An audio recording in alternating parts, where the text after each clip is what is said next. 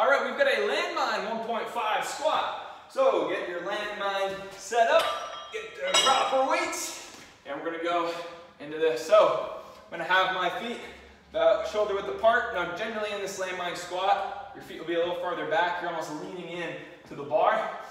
In the 1.5 squat, you go all the way down, halfway up, half, all the way down, and then back up. So pushing through middle of my foot, making sure my torso is nice and tall, going down all the way, halfway, all the way down, boom. I'm thinking about ripping the floor apart as I'm going through this motion, and you can change the tempo of this.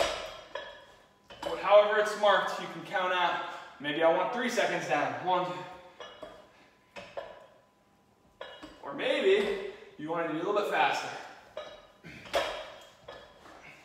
The other thing to note is in the bottom of the squat, you don't want the lower back to go into flexion. So you just may have to adjust your feet uh, or lower the weight.